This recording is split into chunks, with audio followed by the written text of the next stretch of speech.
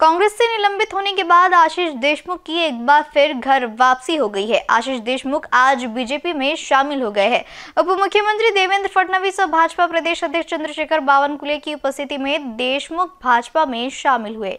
BJP में शामिल होते ही उन्होंने कांग्रेस पर जोरदार हमला बोलते हुए कहा कि कांग्रेस बूढ़ी और जर्जर हुई है। इस बार उन्होंने उनपचास साल की उम्र में एक बड़ा ऐलान किया है। क्या उनकी इस घोषणा से राजनीति में एक नया रुझान आएगा? ऐसी चर्चा अब शुरू हो गई है। बीजेपी में शामिल होने के बाद आशीष देशमुख ने उपस्थितों को संबोधित किया। इस समय उन्होंने घोषणा की कि वो आगामी विधानसभा चुनाव नहीं लड़ेंगे तो सभी दंग रह गए। भारतीय जनता पक्षाचे प्रदेश अध्यक्ष आणि आपल्या सर्वांचे लाडके नेते चंद्रशेखर बावनकुळेजी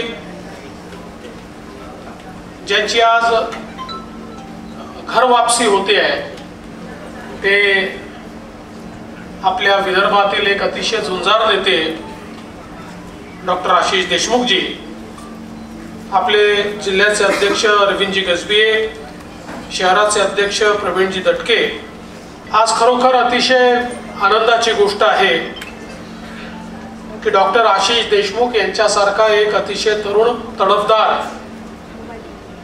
आणि ज्याला राजकारणाची समज आहे अशा प्रकारचं एक नेते आपल्या स्वगृही भारतीय जनता पक्षामध्ये परत आले आहेत. मी आपल्या सर्वांच्या वतीनं आशिष देशमुख यांचं भारतीय जनता पक्षामध्ये मनपूर्वक स्वागत करतो आणि अभिनंदन देखील करतो. खरं म्हणजे आशिषजींनी त्यांचा प्रवास त्यांची मानसिकता या सगळ्या गोष्टी आपल्यासमोर सांगितलेल्या आहेत. बावनकुळेजींनी देखील सांगितलेलं आहे. पण खऱ्या अर्थानं आशिष देशमुखांना भारतीय जनता पक्षामध्ये पुन्हा परत आणण्याचा निर्णय आम्ही घेतला. ज्यावेळी राहुल गांधींनी ओबीसी समाजाचा अवमान केला आणि कोर्टामध्ये त्याबद्दल क्षमा मागायला देखील नकार दिला आणि त्यावर अतिशय स्पष्टपणे आपली भूमिका ही आशिष देशमुखांनी मांडली. शाम को अगर घर वापस आ जाए तो उसे भुला नहीं झालेल्या सर्व चुकांबद्दल डॉक्टर साहेब दिलगिरी व्यक्त करत आणि घर वापसी ही देखील इथे उपस्थित असलेल्या सन्मान्य राज्याचे अतिशय लोकप्रिय असलेले उपमुख्यमंत्री आमचे नेते देवेंद्रजींच्या उपस्थितीमध्ये आणि आमचे मोठे भाऊ सन्मान्य बावनकुळे साहेबांच्या अध्यक्षतेमध्ये इथे होत असल्यामुळे अतिशय आनंद त्यानिमित्ताने मला घरी येण्याचा नक्कीच होता. आणि घरी येताना जी खऱ्या अर्थाने स्वागताची भूमिका सन्मान्य बावनकुळे साहेबांनी घेतली. आणि आपल्या घरी आपल्या गावामध्ये जगदंबेच्या आशीर्वादाने माझा जो भाजपामध्ये प्रवेश घेतला त्यासाठी विशेष आभार मी बावनकुळे साहेबांचे इथे करतो. इथे माझ्या या पक्षप्रवेशाच्या कार्यक्रमासाठी सातत्याने झटत असलेले डॉक्टर पोद्दार साहेब पूर्व विधायक आशीष देशमुख के बीजेपी में पक्ष प्रवेश के बाद देवेंद्र फडणवीस ने देशमुख को शुभेच्छा देते हुए कहा कि बीजेपी आखिरी पार्टी होगी। इस पतर्थ में श्रद्धा और सबूरी से कार्य करने की भी बात फडणवीस ने कही है। महत्वाचं कारण हे की डॉक्टर आशिष देशमुख एक कलाकार आहे. हा सामान्य माणूस नाही, कलाकार आहे.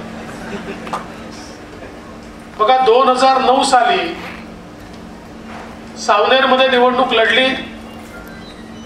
भारतीय जनता पक्षाच्या कार्यकर्त्यांनी शर्त तर केलीच. पण त्यासोबत आशिष देशमुखांनी देखील आपल्या कार्यकर्त्यांना सोबत घेऊन त्या ठिकाणी सुनील केदारांच्या तोंडचं पाणी पळवलं. त्या दिवशीची घटना जर घडली नसती आणि त्या घटनेवरची आपली रिॲक्शन ही जरा वेगळ्या प्रकारची राहिली असती तर कदाचित त्या दिवशीचं चित्र बदललं असतं. हे ठीक आहे की ते काही काळ बाहेर होते पुन्हा आले. आणि मला आठवतं की गडकरीजींच्या घरीच आम्ही होतो. आणि आम्ही आशिषला सांगितलं की सावनेरमध्ये आमचा उमेदवार ठरलेला आहे. आणि तुम्ही काटोलला जाऊन लढलं पाहिजे. खरं म्हणजे अचानक दिलेला प्रस्ताव होता पण त्यांनी तो स्वीकारला आणि काटोलमध्ये जबरदस्त परिवर्तन हा नारा देऊन ते त्या ठिकाणी गेले. भारतीय जनता पक्षाचे कार्यकर्ते पूर्ण ताकदीने त्यांच्यासोबत उभे राहिले.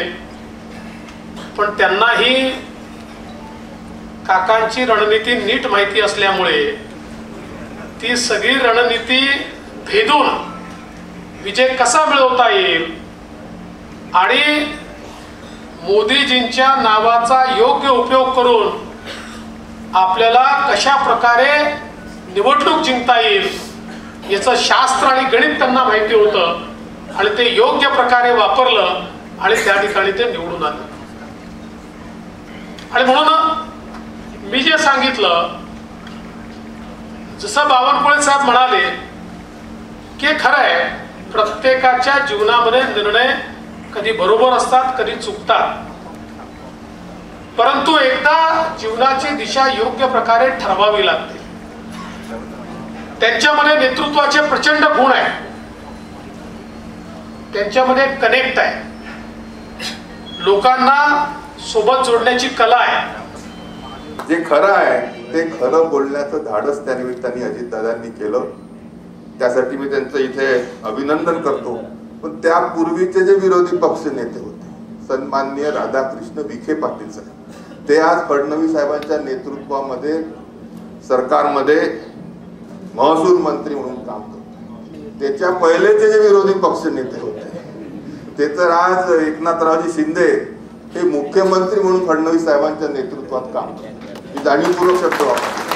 आणि म्हणून त्यांचं नेतृत्व हे सर्व मान्य आहे. आणि मी जरी दोन हजार एकोणीस ची निवडणूक त्यांच्या विरोधात दक्षिण पश्चिममध्ये लढलो त्यांचा विरोधक होतो मी देखील आज त्यांच्यासोबत आलो आहे आणि त्याचा मला मनस्वी आनंद आहे. अतिशय प्रतिभावंत आणि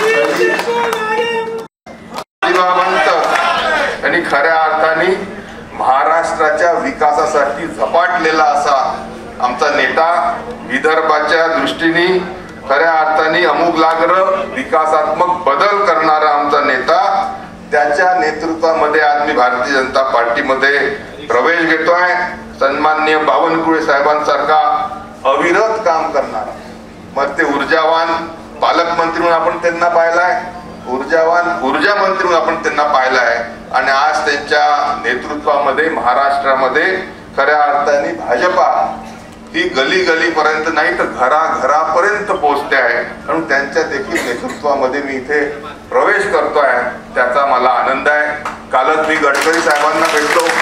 आणि माझ्या मुलाखतीने सांगितलं की दोन हजार नऊ मध्ये माझा जेव्हा प्रवेश सन्मान्य फडणवीस साहेब देखील तिथे होते. कस्तुरचंद पार्कवर मोदीजींच्या उपस्थितीमध्ये लोकसभेच्या निवडणूक झाला. स्वर्गीय मुंडे साहेब देखील त्या निमित्ताने तिथे होते. आणि मला तेव्हा गडकरी साहेबांनी पश्चिम नागपूर लढ म्हटलं होतं. सहा महिन्यापर्यंत मी पश्चिम नागपूरसाठी लढणार होतो. शेवटच्या दिवशी बदल झाले. मला सावनेरात टाकण्यात आलं. पण बारा तेरा दिवसाच्या कमी कालावधीमध्ये फार मोठी साथ सावनेर परमेश्वरच्या भारतीय जनता पार्टीच्या सर्व कार्यकर्त्यांनी दिली. आणि भरघोस असा आशीर्वाद देखील जनतेने देखील मला दिला.